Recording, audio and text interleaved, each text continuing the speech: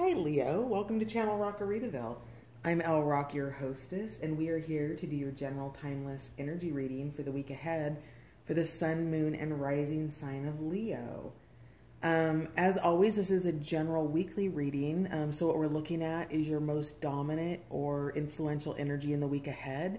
And if the story that we pull out isn't resonating with you, maybe check out your moon and rising sign on the channel um, or other placements and see if there's a story there for you. And then finally, I want to give a big shout out and thank you to my new subscribers and my returning subscribers and all of those who are dropping by the channel just to check it out. Super duper appreciate you being here. Thank you for that. Your comments, your likes, your subscribes, your notification bell thingy. Um, all of that does help the channel grow, and I appreciate your support. So thank you. And without further ado, let's find out what the most influential energy is for Leo for the week ahead, please. Leo's influencing energy for the week ahead, please.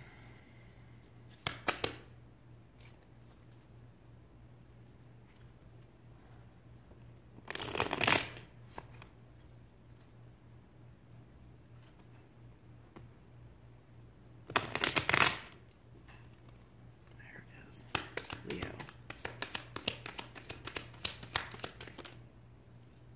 Cycles. Shocking. Oh my gosh, Leo. Everybody is in a long cycle.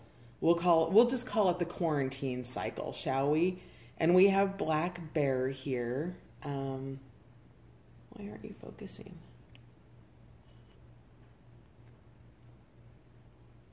There we go. Black Bear syncing with the cycles. So um, this really speaks to me a lot of a moon cycle because it does show the full moon cycle here. However, this we are in the quarantine cycle right now, and it's a big one. It's a long one. Um, it ebbs and it flows, right? You know, people slowly opening back up. Um, you know, the potential of whatever's to come in the fall when a flu season comes around again. We're most definitely in a viral cycle here. And what that's doing is that's causing people to look at their entire lives, Leo. Um, and you are no exception here. So let's find out a little bit more about what that is, what the cycle is that you're in with black bear. Black bear, as you know, hibernates, as all bears do. And if you're in north, well, if you're in the northern hemisphere, you've just come out of winter and we're, you know, going into spring right now. So definitely coming out of a hibernation period, I feel. What else do we have for the week ahead for Leo, please? Leo for the week ahead. Influencing energies. Love fiercely, the Whooper Swan. Let's grab these two because they want to come out. Um, wow, so many of the same cards. Tough Love is at the bottom of the deck. We had another Cycles card just in case you were, you know, not certain about whether or not you were in a cycle. You are. Um, we're going to put these up here together because they are telling the same story. Um, so you, so this is interesting. We have a love fiercely with the Whooper Swan, as well as tough love. So the interesting thing is, is these two cards could actually be seen as counterparts. And the reason that is, is because love is very yin and yang, right? If only we could be in that super romantic, heightened state all the time, which is that fierce loving, that, that, oh my gosh, you know, I'm on cloud 12, you know, forget cloud nine, I'm higher than that. And that is what the energy of Whooper Swan is. And then the energy of lavender is also remembering that um, we are teaching people how to treat us in love, Leo. And sometimes we have to bring forward tough love to set those boundaries so that we can love each other the way that we need to be loved, right? If you're loving fiercely and you're being walked on and you're not setting boundaries, then it becomes difficult to love something, Leo, or somebody when there are when there's a condition that's putting you into a state of resistance or a state of contraction, right? And you always have the ability to potentially stand up for yourself. And if you're in a situation where it's unsafe for you to stand up for yourself, then the invitation would be to um, begin to take steps towards garnering the confidence to ultimately eject yourself from that situation. Now, um, that might just be for one of you out there. Um, but with this, you know, tough love and setting boundaries, especially in new relationships, whether they're friendships or romantic, you teach people how to treat you. And when they cross a boundary with you and you put up with it, then you're teaching them that it's okay. Now, it might be okay for you, um, and yet it wouldn't be appropriate if they crossed this boundary 20 times and you allowed it to then flip out about it on the 21st time. And I speak from experience. This is not a judgment, Leo. I've been there. I've I've demonstrated this behavior, right? Um, it's why I can speak to it with confidence. So, you know, it's up to us as individuals to teach people how we want to be treated so that we can love them fiercely. When they show us the respect that we want, and you, you know, you ultimately we would hope that people would give the respect that they expect and yet that may not always be true right? And so um, i'm really getting a sense of respect and um, setting boundaries here with this in a love situation. And again this could be friendship this could be family but whatever it is there is a cycle of fierce loving and then um, having to set boundaries around that. So we also have here Inner Sanctum, which is Sweet Violet. And this is telling you to um, spend time. This I would this would be like a little bit of a a minor arcana for the hermit. So a four of swords type card, right? And going into your inner sanctuary with violet and remembering what those things are that you treasured and you held dear so that you can nurture those. Um, seems here you have a little bit of a rigid stance, release rigidity here. And at the bottom of the deck, we have Orca.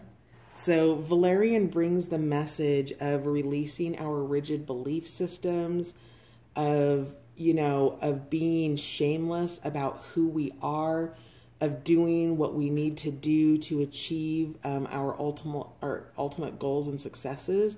And that doesn't mean, you know, being shady about things that we do here. That means releasing the ideas that don't serve us. So, um, let me give you an example. I once had somebody very close to me say that they would never fly. I want to say it was like four or five hours because they would never go to a bathroom on an airplane. Now, that's a really re- rigid idea, right? Because if you really want to potentially do something for yourself, say it's been a lifelong dream for you to um, go to Venice, Italy, right? Um, well, there's a good chance you're going to have to pee on the plane while you're doing that. And if you aren't going to be able to release those rigid thoughts and belief systems that hold you back from experiencing the fullness of your life, Leo, um, then you aren't going to be able to receive all the manifestations that you're working on and that stall out because there's a rigid mindset in place here. So you're being called within to look at those things that you're rigid about and to start clearing them out because you're you're in a cycle and you're deep in a cycle. Like you got two cycle cards here. So maybe you're clearing in and clear maybe you're inviting in and leaving multiple cycles, right? Maybe with coronavirus there's been a job loss or an impact to your private business or something like that. And, you know, that puts you into a financial cycle, which then puts you into a recovery cycle, which then puts you into. Do you see what I'm saying? Cycles lead into each other. And making good choices when we can recognize, um, you know, so maybe if you have a business or this is job related, maybe you are being invited to do something you've never done before that's out of your realm of influence, right? That's out of your experience. And yet you still have the applicable skill set to be able to do it, even if you don't have topic knowledge, right? So even if you don't know everything about what you want to do, that can all be acquired. You still have the skill set that you need to be able to be high functioning. And if you can let go of a rigid mindset and go within and find out what truly is standing in your way and keeping you from achieving these, um, probably a cycle or a pattern. Um, again, you know, inner sanctum, dive under the surface. You're being asked to go within in the week ahead to um, dig into and uncover what it is in your cycles that, that are repeating themselves that you're doing over and over and over and getting the same result. So let's clarify cycles for Leo, please. Leo. Um, oh, yeah. Oh, gosh. These, yeah, so many of the same cards. Um, you guys might as well just really kind of go along the channel and look at the titles that resonate with you because there's something for everybody. You're involved with multiple signs. There's information here um, people are getting really similar and or the exact same cards over and over and i shuffle these decks voraciously and the cards jump right so the cards are jumping with the same theme we're all in cycles we're all being invited to let go of those things that do not serve us and in doing so it opens the door for the new to come in and we don't know what the new looks like but if we can allow for it it looks even better than we could have dreamed or imagined and here with the Way, which is a holy card in the Patch Tarot deck, it's an ascended card above the major arcana. Um, your guidance here is to pray about your cycles, right? So, in terms of prayer, we don't pray in higher consciousness in a desperate mindset. Oh, please help me get out of this cycle. Please get this person out of my life. Please get this job out of my life. I'm desperate. I'm desperate. That isn't what prayer means. Prayer is an affirmative mindset that thanks God, thanks the universe, it thanks the divine and all of the invisible aspects of manifestation and creation. And in your cycle, you are being asked into a state of prayer and meditation to be grateful for what it is you've already had, including these lessons that are continually repeating themselves because if they're continually coming up, you're being offered a way out, right? This is the way. And, um, you know, when you start spending time and thanking the divine for, you know, thank you for, you know, ending this cycle, thank you for bringing forward um, a new relationship. Thank you for helping me see what I loved in my old relationship. And thank you for the contrast of what I didn't love so I knew that I wouldn't stay there forever, right?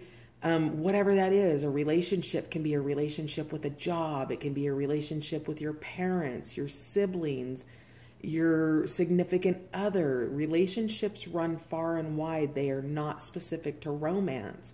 And yet, we want to focus so much of our time and energy in the romantic nature of life, which is amazing. And yet life is happening constantly and and you're being invited to pray about you know the energies that you want to bring into your life um, not in a manner of begging but in a manner of open-hearted receiving. Thank you for the gifts of the universe.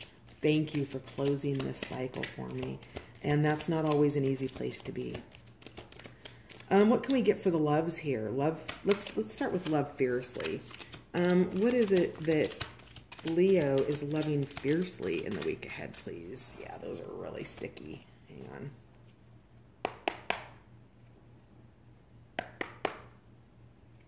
Love fiercely, Whooper Swan. I get a sense that if this is a relationship, it's a long-term relationship. Um, swans mate for life. Okay. Uh, yeah, tower. Interesting. And four of wands. So there's been a, a tower moment in a relationship here. Um, there's been a realization. Now, Four of Wands upright is success. Now, in this deck, it doesn't elude specifically to romance. So, something that you loved very, very fiercely, and dare I say, in maybe a slightly codependent manner, Leo, um, in so much as codependency being thought of as happiness is outside of yourself rather than something that you can give yourself at any time, any place. And, um, you know, when we are turning to somebody else to validate us, to, you know, give us feedback consistently because maybe we need it for our egos or something of that that state, right? It begins to wear on on people. It begins it begins to cause uh, density in the energy, and so whatever this is that you're loving fiercely for, it is implying success here. Um, and I think that this success probably comes with this tough love that you bring into play here, right? Because, and maybe the tower was tough love. If you're teaching somebody how to treat you and the way, you know, what is, what's okay, what isn't, right?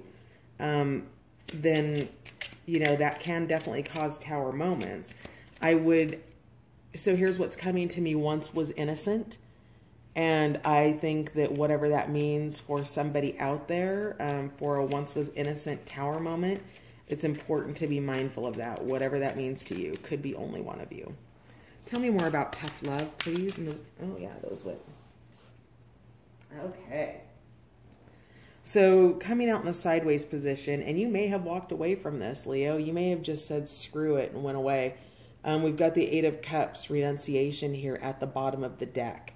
So um, let's see here. Tough love. Emperor came out sideways. Now, in the upright position, this is a sense of structure, stability. The Emperor is all of the kings in the deck. Um, he's balanced. He's grounded. He has all of his elements and his states of being balanced here. Now, because he came out in the sideways, sideways position, that means the energy's flipping throughout the week, right? And when it's in the um, reversed position, it's tyranny. It's dominance. It is a aggravated environment in which somebody is leading as a dominating authority figure rather than a collaborating authority figure. Somebody who puts in structure and placement, makes clear and articulates well what the goals are of the household, of the business, when those goals need to be re reached, right? It's a very practical nature, not unlike the King of Discs or the King of Pentacles, which has been coming out mad this week. Like, not mad in a bad way, but mad like, dang, I can't believe how many people got this. And the Emperor has that energy as well. So, um, when it's clarifying your tough love, be mindful if this is an outside influence and not you, that it's somebody whose energy is, you know, fluctuating from tyranny to you know, healthy structural st structural changes. So, um, you know, just be mindful of that. And um, that will empower you to choose whether or not you'll engage at that time or perhaps, you know, put a conversation off until later. And then here we have the 10 of discs. So this is legacy. This is abundance. This is pentacles. This is, um, you know, I feel like I do feel like this is a family love situation, a spouse, a domestic partner of some sort.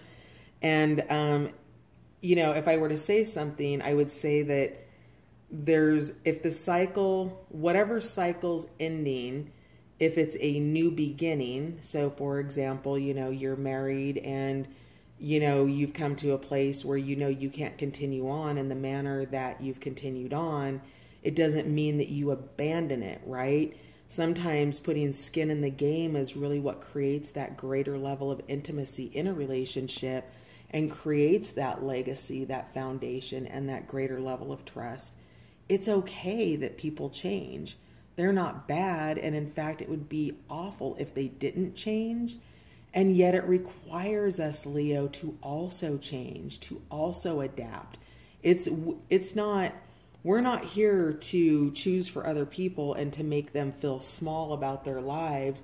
We're here to invest in them and to help them become who they are if they're willing to work for it. Because at the end of the day, unless you embody the seven of discs and really go and walk it out, the practical nature of your dream can never come true. It just sits in the field of potential unrealized. And you're being called into meditation in the week ahead with the hermit to dig into those aspects of yourself on how you can work towards keeping your legacy healthy through creating structure with the emperor and staying away from the the tyrannical energies in tough love. Tough love doesn't mean abuse somebody. Tough love means communicate and articulate clearly how you want this person to treat you. And if they can't treat you that way, it's okay.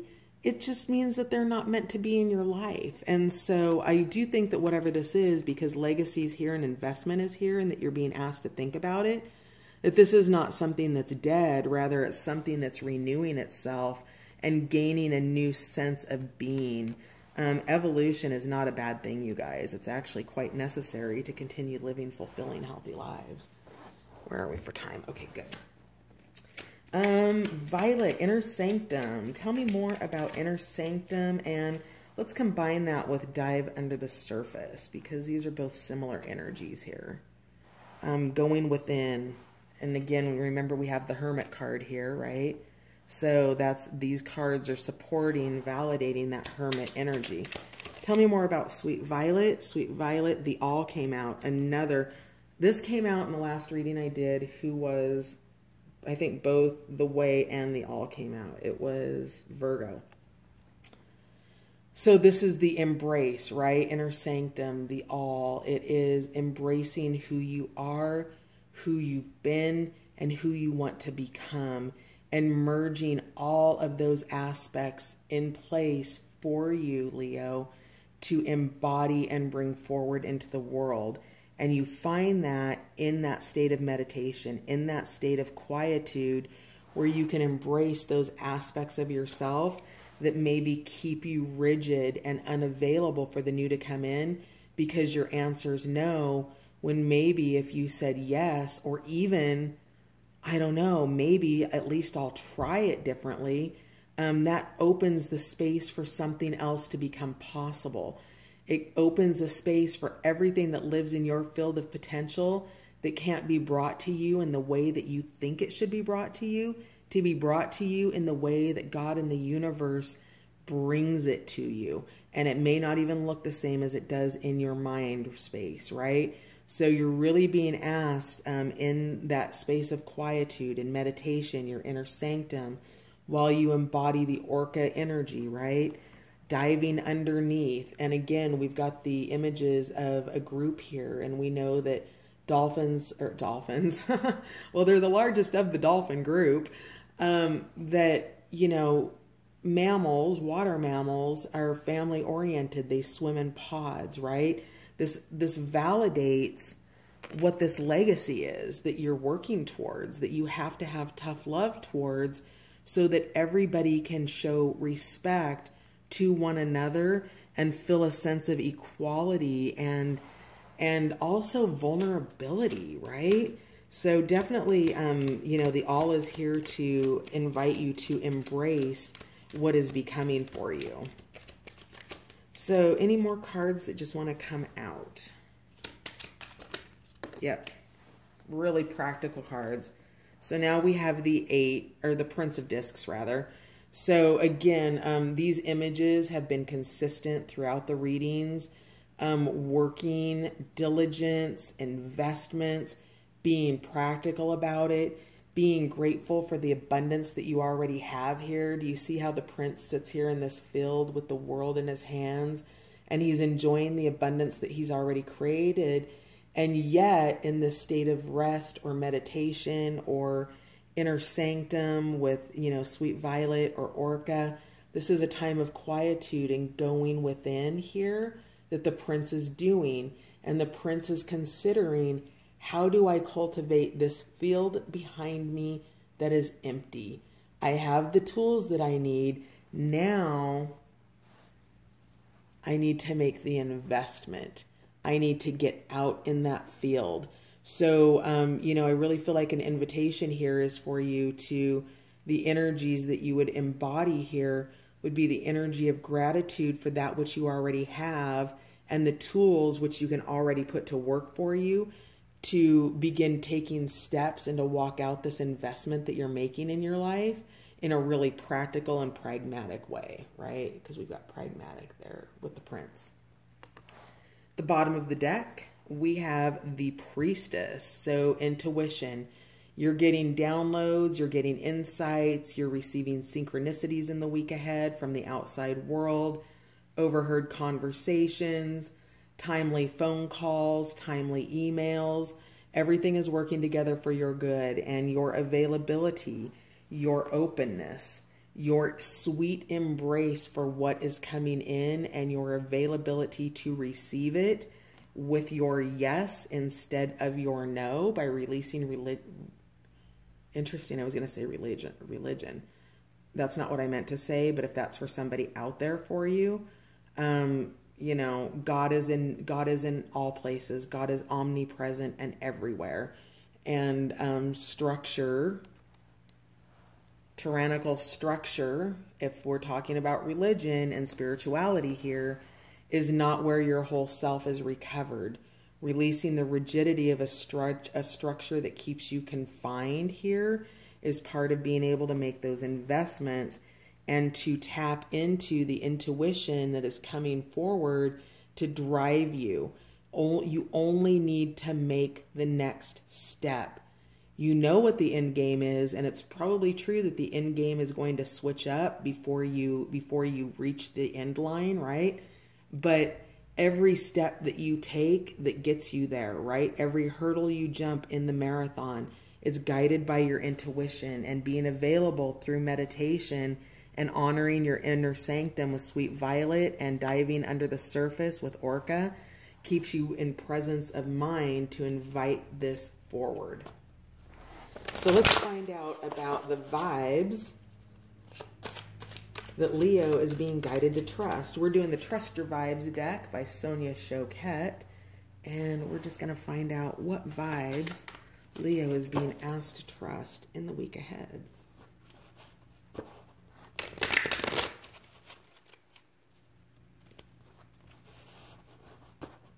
Leo's vibes. Trust your vibes.